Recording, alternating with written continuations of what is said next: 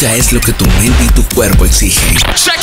La música es un sonido, una inspiración, la manera como te sientes. Es una banda sonora, una nueva perspectiva, una voz para el cambio, un llamado y a menudo una respuesta. La música da vida a todo. La música está en Radio 2.0. En Radio 2.0.